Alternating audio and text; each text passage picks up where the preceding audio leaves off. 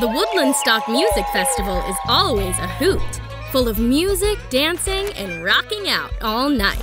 So when the festival is in need of a new band, Eva decides to step up to the stage. With the help of her friends and classmates, she forms the Flying Bluebells. Together, they gather instruments, learn dance moves, and even make costumes. But how's their singing? That could use some extra help. Will the Flying Bluebells perfect their performance in time?